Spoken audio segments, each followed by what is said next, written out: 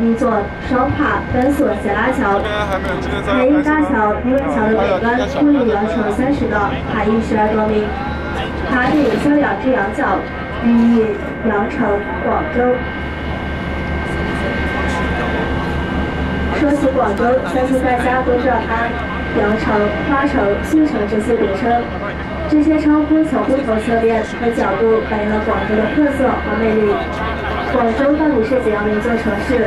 首先，广州是一座名式名副其实的千年古城。公元前二一四年，秦朝统一鼎元时，广州城的历史便由此开始。到了公元二二一年，闽南胶州分为两个州，西部叫胶州，东部叫广州。从此，广州的名称开始在历史上出现。而广州的特点也由安字来概括 Thank you.